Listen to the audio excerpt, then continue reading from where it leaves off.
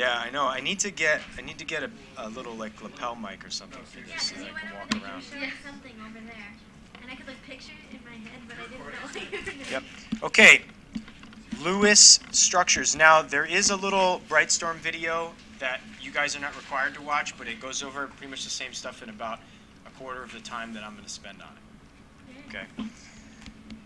Lewis structures. Now, just so you know what I'm talking about here, we're going to be drawing pictures of molecules, something like this. All right. Now, I want to start with a caution, though, and that is that some of you have learned to do this kind of thing before. And I want you to pretend you have not. Because the way you have learned before is different and not sufficient for some of the molecules we're going to be doing. In fact, you'll get them wrong if you use the if you use the method of the illustrious Mr. Hand, for example, may get into trouble. Yes. Those are electrons. Yeah, so these are electrons. Let's start with that. Basically, this is the idea. Uh, by the way, they're just valence electrons. So we're not, in these pictures, we never show the inner shell or inner level electrons, only the valence. And these are bonds. Now, which a bond, of course, is a pair of electrons, a shared pair. Now, by the old method, or what you might have learned in middle school, here's what I mean. You might have done something like this, where you would start by drawing a picture of oxygen like this with six valence electrons, right? And then you might have had a picture of hydrogen like this, and another picture of hydrogen like this, and then you might have done something horrendous like this, okay? Do not connect the dots. Now, there's a good reason for it because here's the thing connecting the dots makes sense because we're saying that basically they're sharing those electrons, right? And oftentimes it's true, two atoms will each contribute one unpaired electron to the bond. However, there's lots of times when only one atom contributes both electrons to the bond, and that would not work here. So there are many times when this method will simply not work. And in addition, I just don't like middle school. And so if I ever see this, you're going to get zero credit for it. Okay? So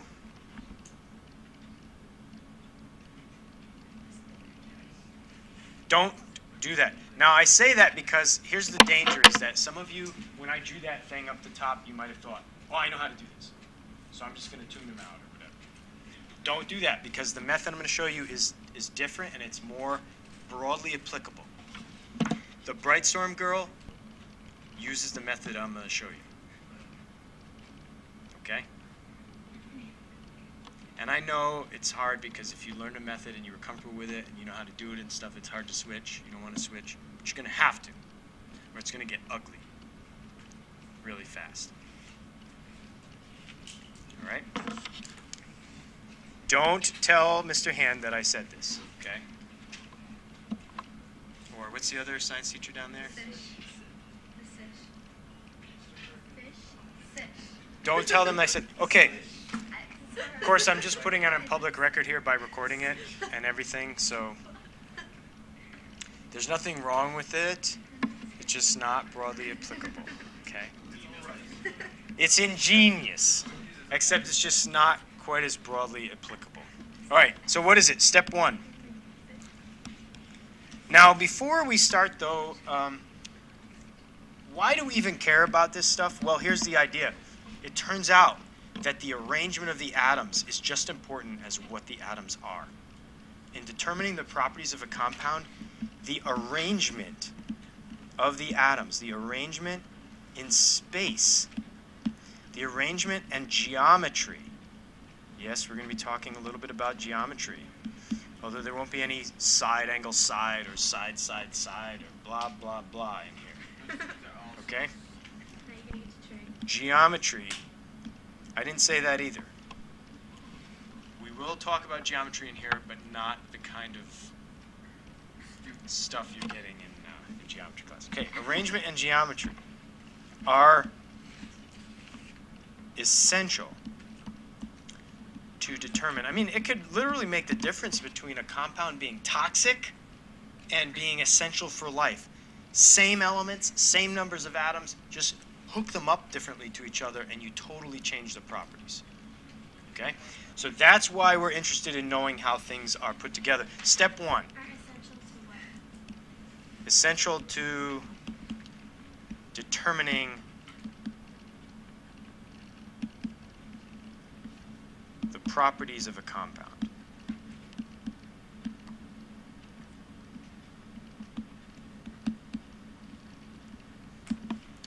Step one, count the valence electrons.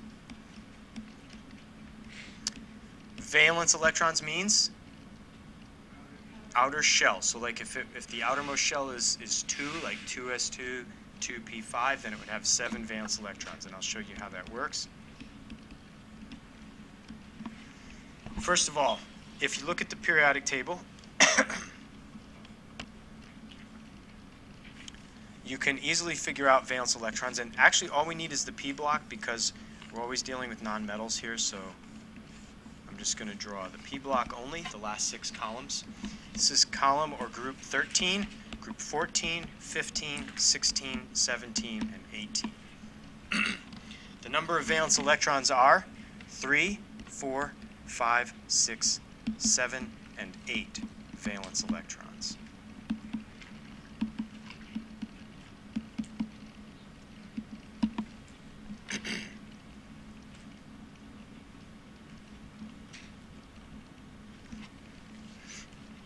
So all you got to do is locate the, the element on the periodic table, and you can easily figure out uh, how many valence electrons it has. So boron, carbon, nitrogen, oxygen, fluorine, neon. Fluorine would have seven, oxygen would have six. So, so oxygen has six valence electrons, for example. Yes?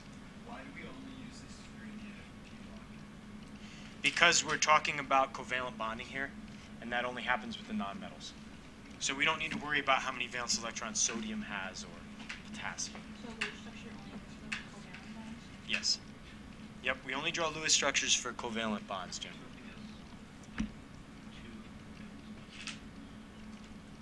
It won't. This is it right here. If it was two, it would be an alkaline earth metal, and it wouldn't form a covalent bond, so we wouldn't draw a Lewis structure. Would it be on like inner ring? It would just, it would, it has two valence electrons, that's true, but it's going to form an ionic bond, so we wouldn't draw a Lewis structure for it. But it does have two. So the alkali metals have one valence electron, alkaline earth metals have two.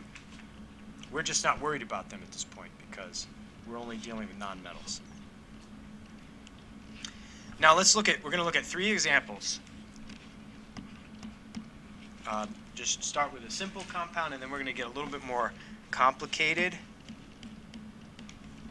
and then a little more complicated. just so you can see how to deal with different issues as they come up. So the first step is to count valence electrons. Here's how I'm going to do that. Where is phosphorus on the table? It's right underneath nitrogen. So phosphorus has five valence electrons. I'm still doing step one, which is to count the valence electrons. Phosphorus has five. Chlorine has seven, but there are three chlorines. So there are three chlorines. See that? Number three there? I'm multiplying. What I'm trying to do here is how many total valence electrons are there on the whole molecule? So you find each element and then you add them all up. So it's going to be 5 plus 21 is 26. This is the total valence electrons. For sulfate, I'm just going to do the same thing. Sulfur has 6 because it's underneath oxygen right here. Oxygen has 6, and there are 4 oxygens. But I actually have to add 2. Does anyone know why I'm adding 2? Blake. Exactly. 2 minus charge. We talked about this when we first introduced the concept of polyatomic ions. A polyatomic ion is a molecule with extra electrons. So those extras are in the valence shell. So I take those two negatives, that's, that means two additional electrons in it, added to the whole molecule. So I'm adding them up onto the valence electrons. So it has a negative charge because negative, Right. more of them. More of them. So I'm, right now I'm just counting electrons. Yeah. So 6 and 24 is 30 and 2 is 32. This, by the way, is about all the math you got to do in this unit. Other than, actually, I shouldn't say that. Balancing the charge in those formulas is, is a little trickier, right? Okay, SO3. 6 plus 6 times 3. 24. Okay, the first step is pretty easy. Just, you got you got to be a little careful. Just make sure you're using the table correctly and finding the right number of electrons. Make sure you're multiplying by however many atoms there are, and make sure you're taking account of charge of a polyatomic ion charge. Yes. How is that possible? It's eight outer electrons at the, like the outer ring. This is a whole molecule. There's going to be eight around each atom, Oh, and you got more than more than one atom. So you're going to have a lot of valence electrons. These are all the valence electrons on all the atoms. Yes. Okay, so next step. Any other question on step one? Next step, step two. Draw a skeleton structure for the molecule.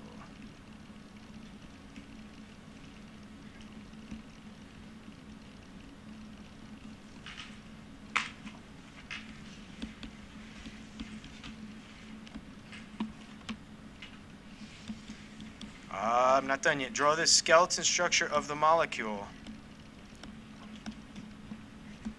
with lines for bonds.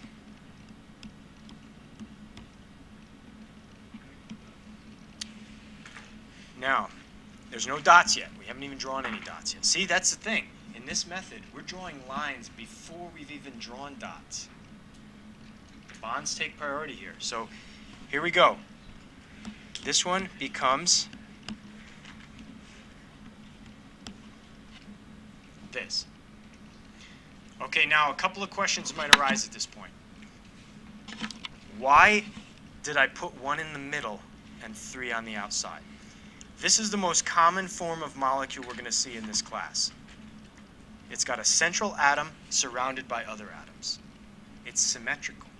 So you got one atom in the middle and then more atoms around the outside. Almost every molecule we do is going to have that basic kind of format. All right?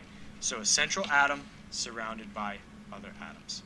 So this kind of center with spokes or kind of a wheel shape is what we're going to be seeing for the most part. So if you're in doubt, and you could draw it many different ways, by the way, right? I mean, what I'm saying is, why didn't I write CLCLCLP, right, in a line? Just because this is the most common. Nature tends to favor symmetry. So we're going for the higher level of symmetry. So when in doubt, you are going to favor symmetry. Want a, a higher order of symmetry in your molecule.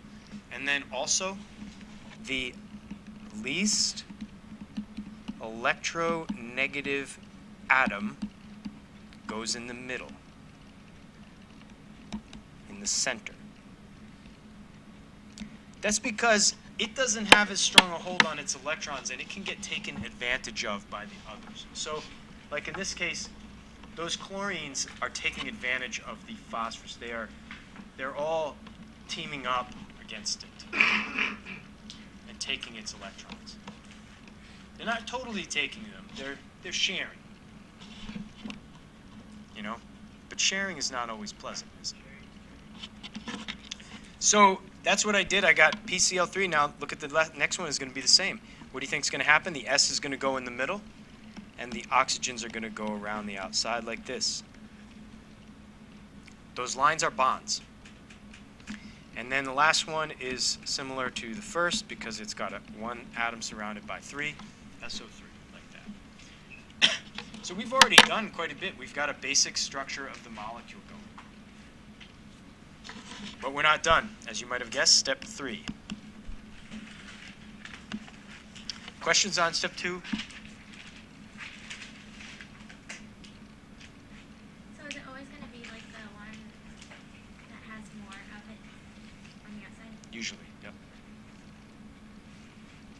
Yeah, pretty much. Is that what you mean by least Least electronegative just means if you look at the table, um, like a halogen would always be on the outside because they have a high electronegativity. Remember, it goes like up like this. Like fluorine has the highest, so left to right electronegativity increases, decreases top to bottom. So something that's further to the left or further up in the table is going to tend to be on the outside. So should we think about it that way or just whatever it is more of? Either would probably work. Okay, step three. Subtract two electrons for each bond. So in other words, each bond stands for two electrons. So subtract two electrons for each bond from the total valence electrons for the molecule.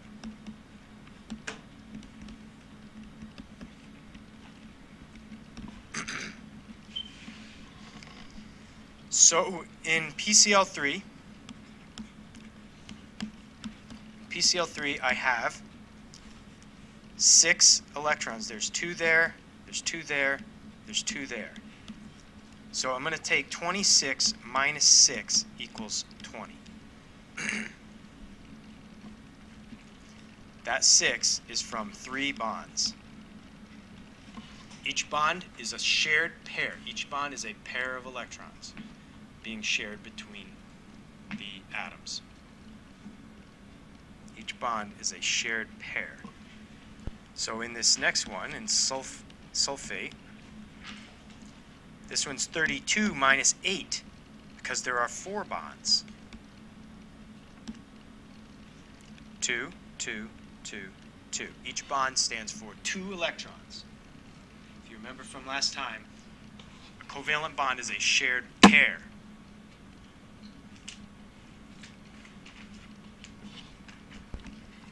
So Last one. that, like, Go ahead. where- I'm just confused. Does that Yep. that like our original number, our like 30, 26 wasn't actually right? No, it's true. What happens is, see, what we're doing is the bonds are valence electrons, right? But what we're trying to do is figure out how the valence electrons are going to be distributed over the whole molecule. So we start with, well, how many do I have to distribute? But the basic idea of what we're doing is we're figuring out total number of valence electrons, and then we're going to try to distribute them to give everybody eight. All right? And we're giving the bonds priority, so we have to have the bonds. Now, basically, what's happened at this point is we've used up six in this one, we've used up eight here, and we've used up six on this one. This is 24 minus 6 equals 18. So, we know that. So you're saying like we know that there are X amount, 26, 32, or 24, but now we're trying to figure out where they are. Yep. So we're gonna, it's not like it's wrong.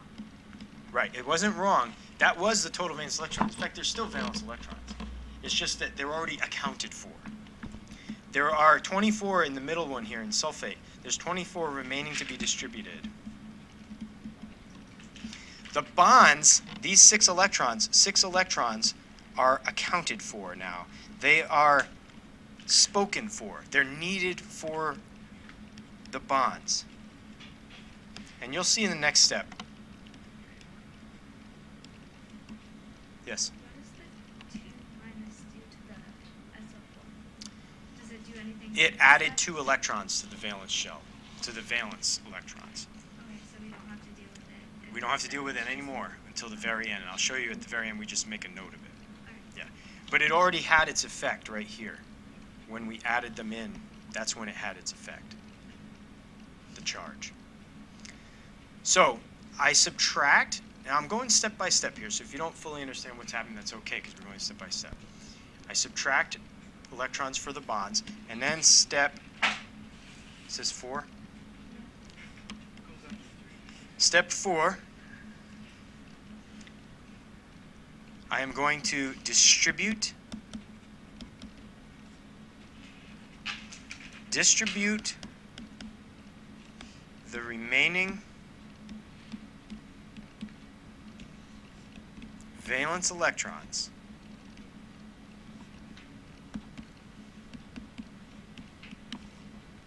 so that each atom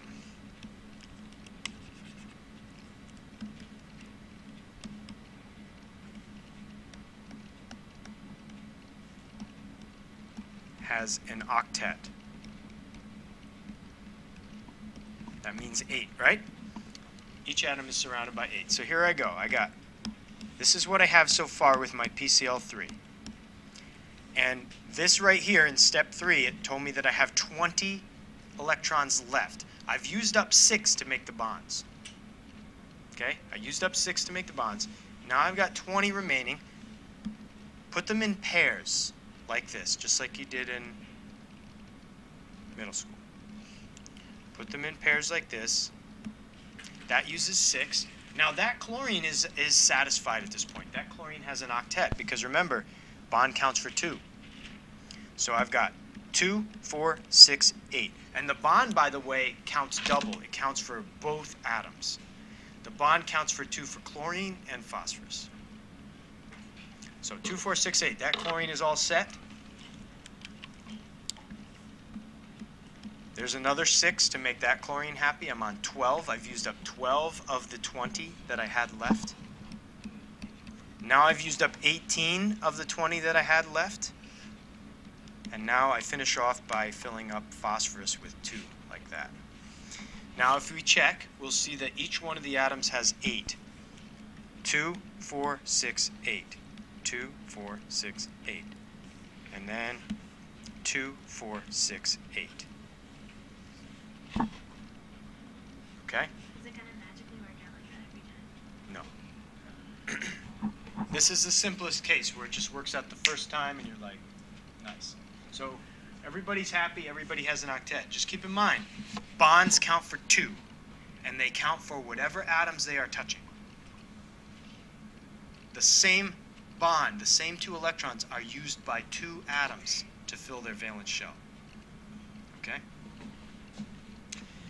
Now, the next one is similar. It's just got more electrons, but it's going to work out as well. So this one we had a shape like this, and we've got 24. And if you look, there's four oxygens, and each one needs six more electrons to fill up its octet. It doesn't matter what atom it is on the outside, we're still trying to achieve octets. Yep, same thing, yep. The only exception to the octet rule is hydrogen, which is satisfied with only two electrons. But we don't need to worry about that yet. Well, we'll see. We'll s I mean, you're going to know hydrogen can't have eight electrons around it. It wouldn't be hydrogen.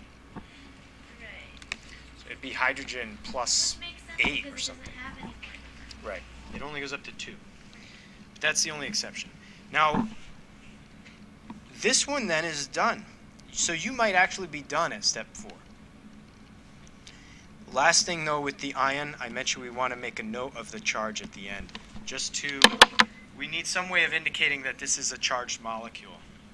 So you put the whole thing in brackets and put a 2 minus on the corner. All right? Now is when we come to a little bit more complicated situation. Wait, why is that two minus? Is that shown in the diagram? It was up here. And we're just making a note of it down here also, just like we did in the formula. And we have to make that note Yep. otherwise you wouldn't know. Yeah, otherwise you would think it could be just plain old SO4. Right. Okay. And this would actually be the incorrect diagram for SO4 because you'd be missing two electrons. In other words, this structure would not work for SO4 neutral. It, you needed, we needed those two minus. In fact, it's a good explanation of why SO4 has a two minus charge. It needs it in order to form this shape. Now, how about this one? we had what 18 electrons remaining, right? I can see right away I've got a problem because they have three oxygens, they all need six. So I got issues. I can fill up these oxygens, but there's a gaping hole right here. Sulfur is not satisfied. So step five. Step five is if you don't have enough electrons, you have too few.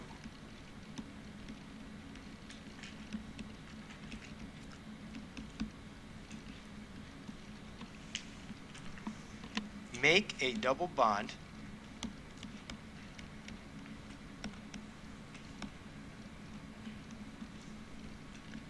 and return to step. Which step? Three. So we're going to do that for this sulfate. Now, by the way, it doesn't matter which oxygen I put this on. They're all the same. They're all the same element. So just put a double bond in there somewhere. It turns out that double bond is actually shared by the three oxygens, but we're going to leave it just like that. And now I return to the step three, which was subtract two electrons for each double bond. I started with 24. Now it's 24 minus 8. Because now I have four bonds. Gives me 16. Now, at first glance, it looks like, well, you just got yourself in even more trouble because now you have fewer electrons. But watch what happens. You can already see just looking at that, sulfur is already satisfied. Sulfur has four bonds, eight electrons. Sulfur goes two, four, six, eight. Right? So all I have to do now is fix up the oxygens. One, two, three, four, five, six. That one's all set. Seven, eight, nine, ten, eleven, twelve. That one's all set. This one only needs four. Look at that. Magic. Two, four, six, eight. That oxygen is all set. So double bonds actually conserve electrons. So if you run into a problem where you get to step four and you don't have enough electrons to fill up the octets, octets of all the atoms, you just add another bond. You double one up. If that doesn't work, double another one up. And if that doesn't work, double another one up. And so on. Actually, if you doubled another one up, you would have an expanded octet in the central atom, but we won't worry about those. If you had three double bonds, you'd have six bonds around the central atom, which would be 12 electrons. All right, that's step five. Do you want to know about step six? Okay, step six. If you have too many,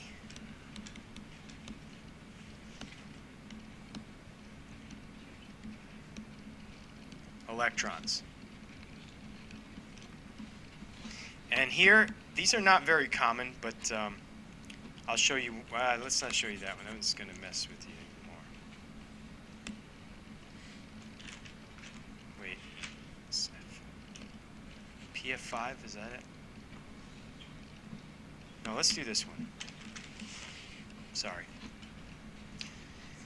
We got issues right away because I'm thinking, wait a minute here, that's a noble gas.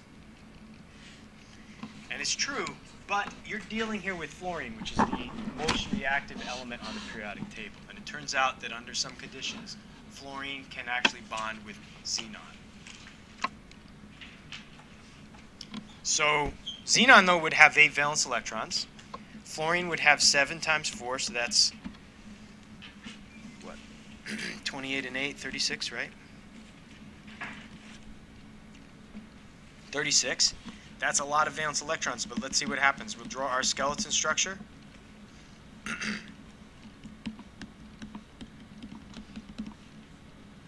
Subtract our 8. 36 minus 8. 28. But it's only going to take 24 to fill up all the fluorines.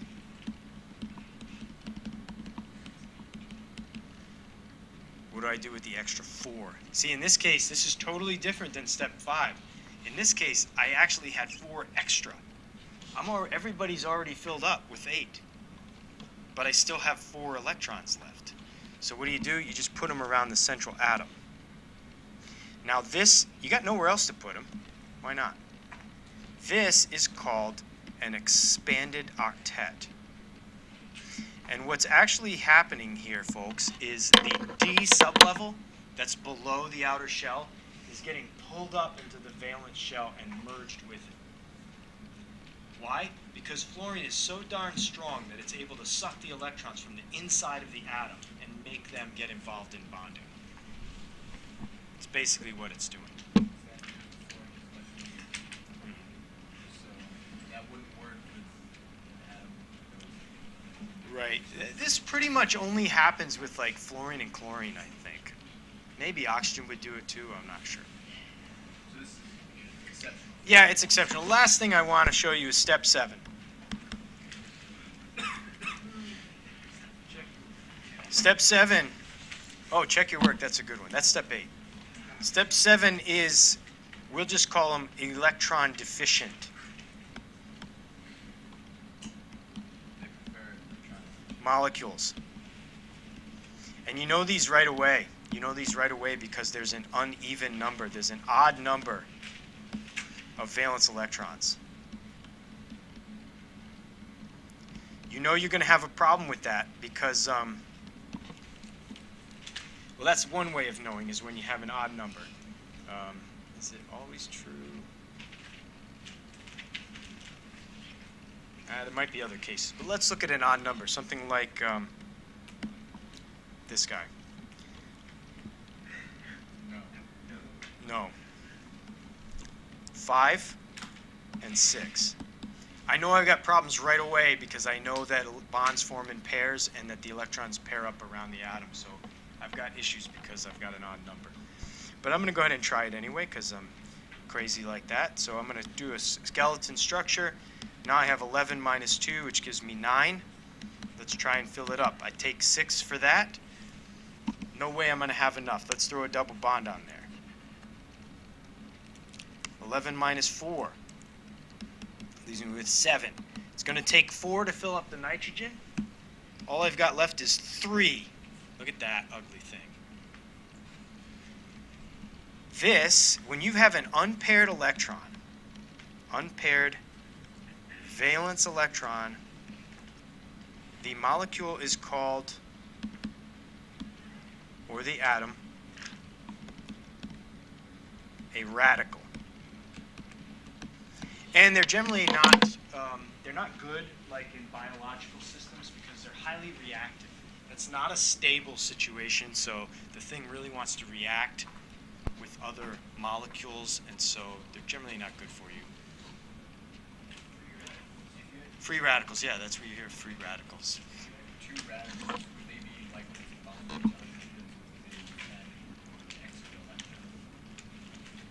They might actually, yeah. Yeah, like would NO bond with NO, then it would be N2O2. I think that might work, I'm not sure. All right, uh, another case of electron deficient is there are cases where you don't have a full octet, but you're okay anyway. Um, this is a this is an example, and these aren't things you could figure out on your own, folks. Uh, this one here, this is actually the the correct Lewis structure for boron trifluoride, and this does not have an octet.